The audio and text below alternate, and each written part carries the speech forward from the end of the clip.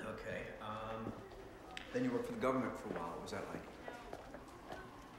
It sucked. Okay. That's a great answer. My readers will love that. Yeah, sure they will, all three of them. Excuse me. Are you Dr. Corbett? Yeah.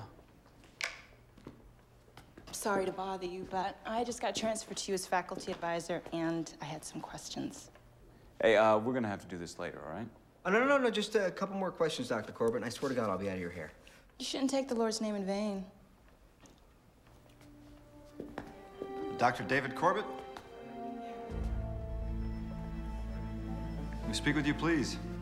Well, you're speaking to me now, aren't you? I'm Frank Peterson, Defense Intelligence Agency. You need to come with us.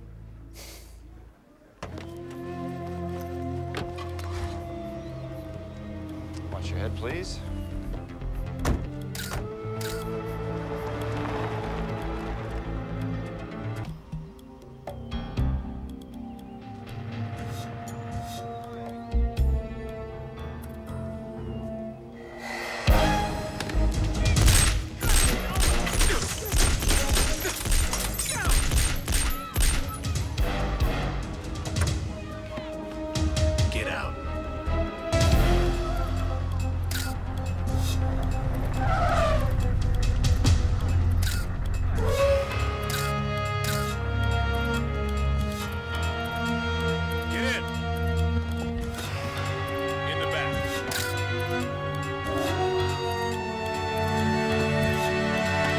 Us out of here, Brother Clarence.